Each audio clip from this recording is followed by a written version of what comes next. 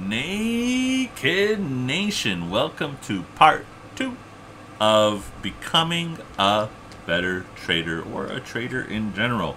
So if you haven't watched part one, make sure to go to our playlist down below and definitely check out part one if you haven't started on part one. But now we're kind of moving into part two and we're going to be talking about, I would say, the second most important part is bankroll management.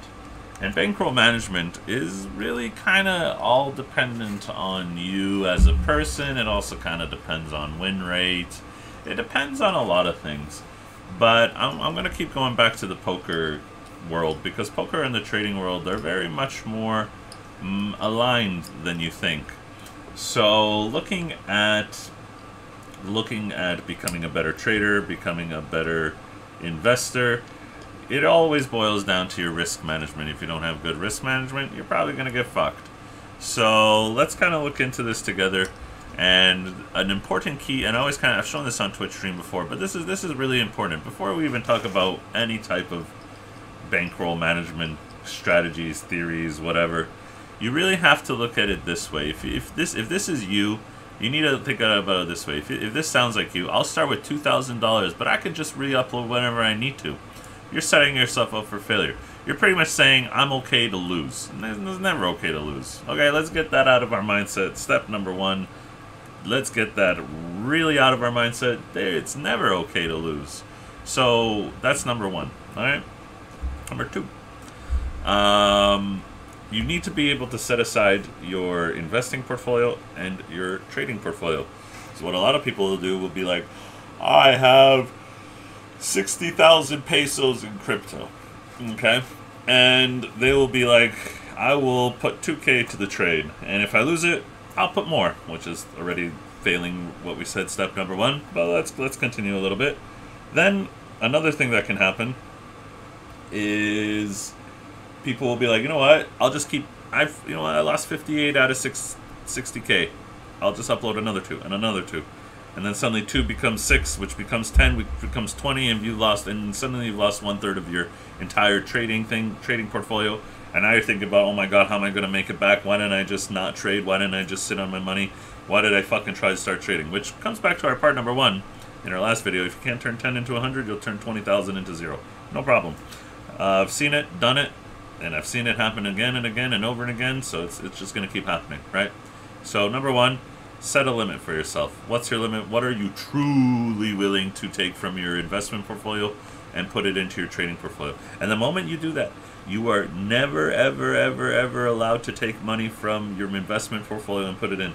If you put 10k into trading and you know you think you're a good trader because you know you ran up a couple thousand from or like 10 to 100 or 10 to 1000 or whatever you've done, I mean, you don't really have to start with 10, but like, you know, I always say start with a low number and see how you can work up your way up on the, on your win percentages. But, you know, what, what you really want to learn from this is being able to really separate investment to trading because a lot of people don't do that and they get fucked. So, step number one. Step number two, really understand um, when you when you do start trading that obviously when you start moving up from $10 to a $1000 trades it's obviously going to be a little bit different psychologically. But you really need to be able to that's why you need to be able to trade for i don't know 90 days 120 days however long it takes you to kind of get a good feeling about yourself because it's all about you and you know i can't tell you how you're going to be able to trade when in reality you need to be able to figure that out like how are you how is your win rate? How do you feel about moving up levels maybe it's better that you you know and when it comes back to that trading diary maybe it's better that you you're better at trading at $200 ranges than you are at trading $1000 ranges for for bets margin bets right? So that's that's kind of a key key focus here too as well that you need to be able to understand psychologically how high can you go. Sometimes there's some poker players that'll never be able to play high stakes poker because they just can't mentally deal with, you know, putting down, you know, huge amounts of money on a bet because, you know, they, they, they, they just physically can't, they can't handle it. Um, so that's also something that you gotta kind of keep in mind in regards to um, how much how much you have there, right? Um, sorry, I'm I'm just kind of putting in a trade right now. Sorry about that, guys. Now I can focus back in. Um, so that's step number one: understanding your bankroll management. Kind of, what are you willing to part with? And at the beginning, the beginning number is ten dollars, hundred dollars, very very low amount um, that you're willing to put in as a bankroll. But I want to kind of go back into the poker bankroll type thing, and how not necessarily the mindset you want to have going into crypto with this, what, what's what I'm about to show you, but it's some similar along the lines of the line, right? If you go to a cash game, which is you know you buy into a poker table, if if you wanted to buy, play it at a poker table that had one dollar, two dollar bets uh, as the blinds, you would need twenty thousand dollars. Why do you need? Why do you want twenty thousand dollars? Well, it's relatively simple because if you happen to what you call it lose $200 out of 20000 well, you're not going to be emotionally affected by that. If you lose 2000 out of 20000 you're going to be like, eh, don't feel too good about that, right? So it's uh, trading, investing, gambling is all about how do you feel about it, right? And not, and I'm not necessarily telling you you need to have a hundred times of your bet because that's essentially the theory here behind poker.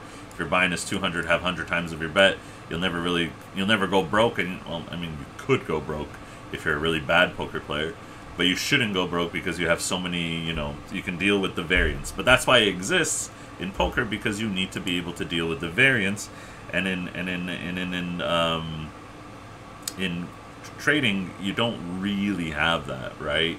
There isn't like you know the ace on the river or the, your opponent has pocket aces and you have pocket kings, you know, that's just bad luck. Sometimes shit just happens, right? And shit does happen in, in crypto. Don't get don't get it twisted. Sometimes shit does happen. I mean, that's why it's also important to have good bankroll management because if you're putting down 50% of your bankroll on one bet and you lose 50% because, you know, the market CZ tweeted something, Elon Musk tweeted something, a nuclear bomb was dropped, you know, you don't want to lose you don't want to lose that, right? It's all about it's a 365 365 days a year game not a you know a day game that you know today you make it or break it, right? So do keep that in mind, right? Um, going back to the bankroll management, there's all I mean, you know, there's there's there's ways to kind of look at it too, right? You know, and I would almost say that if you're kind of playing it, it really depends to you how you want to do it. I just treat it like as a, as a poker thing. Not necessarily like as a cash game, because cash game is high variance, but something like tournaments where you like you want to have 60 times what your bet is, right? If you have 60 times what your bet is, or at least 20, 20 40 times what your bet is, I'm not saying that this is the perfect thing rule way to go. This is just what I look at when I do these things. Maybe maybe that's a better way for you to do these things because maybe maybe you won't lose as much money that way, right? So look about look at it that way. You don't always have to do it. Some people say you know you can bet anywhere between three to seven percent of your bankroll, or you know one or or even as low as one to seven percent of your bankroll, and maybe go ten percent if you're like really confident in a trade or something like that, right? It all that also kind of depends your, your your sizing of your positions. It, it depends on you know, are you confident in the trade? Are you what what kind of trade strategy you're applying? You know, I apply a type of a martingale strategy to my to my betting. Not exactly a full martingale strategy, um, but if you kind of look up martingale on Wikipedia, you can kind of understand what it is. But long story short, if you lose a bet, um, you pretty much double up your next bet, right? That's kind of the theory behind it. Now, I don't play it exactly like that, and maybe on another video we'll go over what I what I do. But like that's that's martingale, right? You know, but that that'd be more of a blackjack mindset. You know, you put hundred dollars on blackjack, you lose hundred. Okay, I'm gonna put two. You know, not necessarily the mindset you want to go with, but sim like that's what I do. I'm not telling you that's what you should do, but that's kind of like what I do, where I similarly adjust. If I get stop loss on a trade, I don't get liquidated. I, I get stop loss. Then my next trade increases by X size to a make up for the loss a little bit, and b um, you know, because I know I can hit a trade, you know, two out of, you know, have a 70% win rate. I can hit these trades relatively soon. So if I if I have a 70% win rate, I should be able to win long term, right? That's that's kind of the theory behind martingale. Now, is that something you should implore? Maybe, maybe not. You know, there's a martingale system which you can read on Investopedia yourselves. Um, you can check it out how it works. You can Google, YouTube, you know, martingale strategies. There's many types of martingale strategies. I'm not going to get into it very hard. I just want to kind of give you a scope of what is actually available for you to use, right? So if you like it, look into it. If not, there's multiple ways you can type in bankroll management onto YouTube, uh, trading, investing, and then they, you know, other people can kind of give you a, a guide or maybe something that you will like. You know, every different strokes for every folk, right? So maybe for me it's martingale, maybe for you it isn't martingale, right?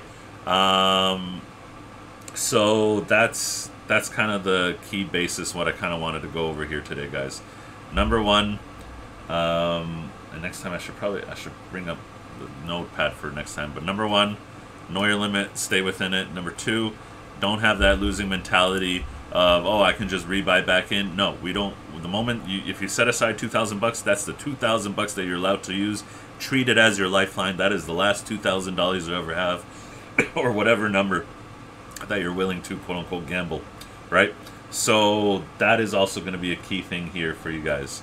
Number three, figure out what is a good bet size for you. Once you get to that level of what is your win rate, and based off of your win rate, how much could you potentially make with that win rate based off of the bet sizing that you have, that you currently have.